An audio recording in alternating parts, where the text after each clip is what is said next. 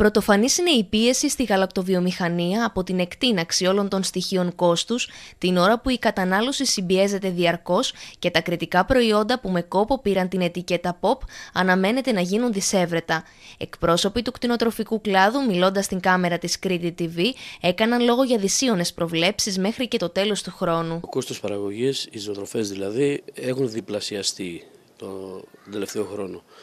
Αυτό συνεπάγεται ότι οι κτηνοτρόφοι δεν μπορούν να ανταπεξέλθουν στο να ταΐσουν τα κοπάδια τους και αναγκαστικά μειώνουν το ζωικό κεφάλαιό τους, το οποίο πιστεύουμε ότι στο τέλος του χρόνου θα έχει μειωθεί περίπου στο 50%. Η ασφικτική πίεση που ασκείται στον κτηνοτροφικό κλάδο έχει διπλασιάσει το κόστος παραγωγής, με αποτέλεσμα οι προβλέψεις για το τέλος του έτους να αναφέρουν μείωση έως και 50% στο ζωικό κεφάλαιο, ενώ η έλλειψη ντόπιου κρέατος και γαλακτοκομικών προϊόντων τίνει να γίνει συνήθεια και το γάλα θα μειωθεί στο μισό και το κρέας θα μειωθεί το μισό. Τα προϊόντα που παράγονται από το γάλα θα είναι και αυτά είδος πολυτελείας τον επόμενο χρόνο, θα είναι δισεύρετα και πιστεύω και θα ανέβει και η τιμή τους.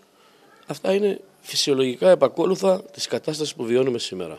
Παραγωγικά ζώα έχουν οδηγηθεί στη σφαγή, ακόμα ζώα αντικατάστασης δεν υπάρχουν και αυτά σφαγιάστηκαν. Το πρόβλημα που ουσιαστικά ξεκινά από την ενεργειακή κρίση και έχει επηρεάσει άμεσα τη ζωή των καταναλωτών, απαιτεί από τους ηθήνοντες να σηκώσουν μανίκια και να ασχοληθούν σοβαρά με την επίλυσή του.